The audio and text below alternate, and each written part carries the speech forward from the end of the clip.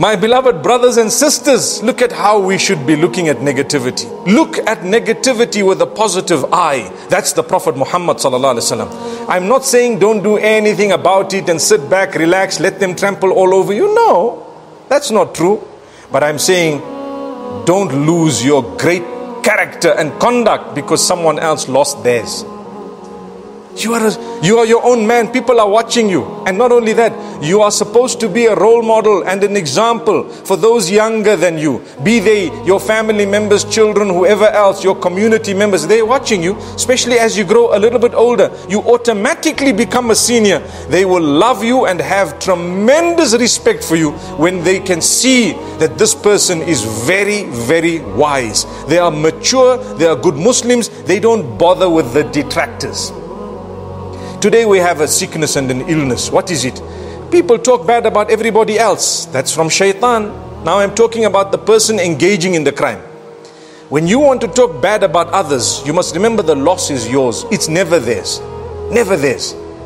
You want to accuse someone, hurt them, harm them, abuse them, utter vulgar language against them. Someone swears you. What should you do first? Do you know what we do? I don't even need to say it. Come on. You know what we do. Someone swears you. Subhanallah, I see people nodding their heads. I hope you guys don't have guns in your pockets. Because someone swears you, you know, people in this country, they would actually draw their weapons. May Allah protect us. That's wrong. Someone swears you, you smile and walk away, don't even turn towards them.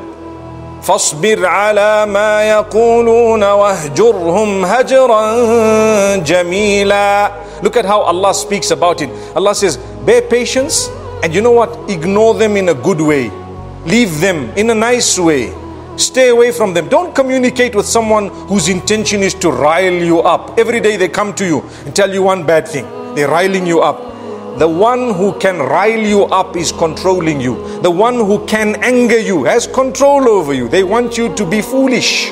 So what do they do? They know we need this guy to get angry. When he gets angry, he's going to hit someone. When he hits someone, we'll do him in for public violence and we'll get him to sign this uh, admission of guilt, to pay the fine and possibly to be in jail. So they've planned it before you even understood what has happened. And when they come, they just watch by remote control, what's happening to you? You control. But you can break their entire plan. They swear you, you just smile back.